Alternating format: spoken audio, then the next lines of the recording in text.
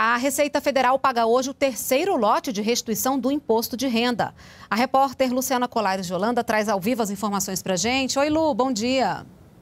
Oi, Renata, bom dia para você, bom dia para você que acompanha a TV Brasil. Olha só que boa notícia para encerrar a semana, hein? E é para 4 milhões de brasileiros, viu? O terceiro lote vai ser pago hoje, último dia do mês, e o valor chega a 5,7 bilhões de reais.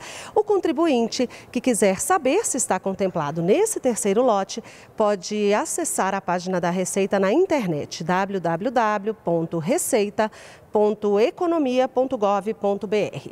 E o atendimento presencial nos postos da Receita Federal em todo o país que voltariam hoje foram e, e, o atendimento foi adiado por mais 30 dias, ou seja, ele só vai ser retomado dia 31 de agosto. Até lá, o atendimento continua restrito e é preciso fazer agendamento para alguns serviços, como, por exemplo, regularização de CPF e parcelamentos não disponíveis na internet.